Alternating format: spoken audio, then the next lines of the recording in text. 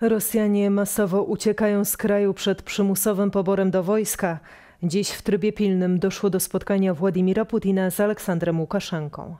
Nie ustają ataki Rosji na Ukrainę. Rosyjskie rakiety spadły dziś m.in. na Perwomajsk w obwodzie charkowskim. Zginęło 7 osób, w tym 15-letnia dziewczynka.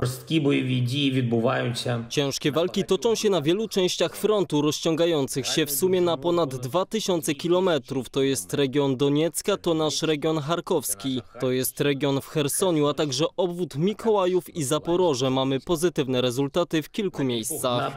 My mamy pozytywne Mówił prezydent Ukrainy Wołodymir Zełański. W wyzwalanych stopniowo przez Ukraińców miejscowościach ukazuje się ogrom bestialstwa Rosjan. W Izjumie dokonano kolejnych makabrycznych odkryć. Zostały odnalezione dwa kolejne masowe groby z pół tysiącem ciał. Rosyjskie porażki na froncie zmusiły Władimira Putina do przeprowadzenia mobilizacji wojskowej. Czynna mobilizacja. Przestępcza mobilizacja jest wykorzystywana przez Rosję nie tylko do przedłużenia cierpienia ludzi na Ukrainie i dalszej destabilizacji świata, ale także do fizycznego wyeliminowania rdzennych mężczyzn żyjących na terytoriach kontrolowanych na razie tymczasowo przez Federację Rosyjską.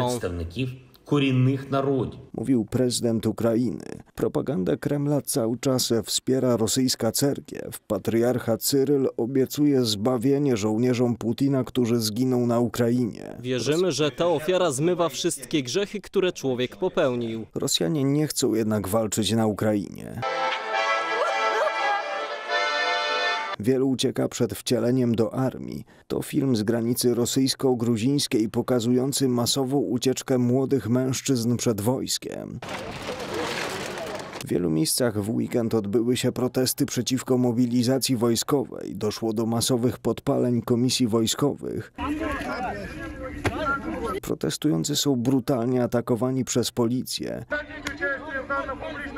Władimir Putin ma coraz większy problem, mówi ekspert do spraw bezpieczeństwa Adam Krampichowski. Będzie coraz większy opór, e, będzie coraz bardziej budowała się opozycja wśród e, generałów, wśród e, oligarchów, będzie powstawało coraz większe wsparcie do prowadzenia jakichś rozmów pokojowych. Na przyjęcie dezerterów są gotowe Niemcy. Pomysł dzieli jednak kraje Unii Europejskiej. Mobilizacja w Rosji budzi bowiem niepokój. Rosja eskaluje napięcie w regionie, organizując także referenda w okupowanych terenach Ukrainy. Jak informuje strona ukraińska, w głosowaniu można wziąć udział bez dokumentów tożsamości. Wynik takiego referendum jest więc z góry przesądzony na korzyść Kremla. Większość okolicznych mieszkańców nie otwiera okupantom drzwi drzwi i nie uczestniczy w pseudoreferendum. Ludzie rozumieją, że wyniki głosowania są od dawna ustalone na Kremlu. Rosyjski minister spraw zagranicznych Sergiej Ławrow z góry przesądził już o wyniku głosowania i zapowiedział pełną ochronę anektowanych ziem.